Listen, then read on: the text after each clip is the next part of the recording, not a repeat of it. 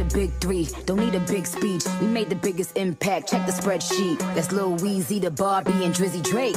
Niggas getting more cheese, only on them C's if it's breeze. Red ruby the sleeves, Chinese on my sleeve. These wanna be Chun-Li's anyway, yee.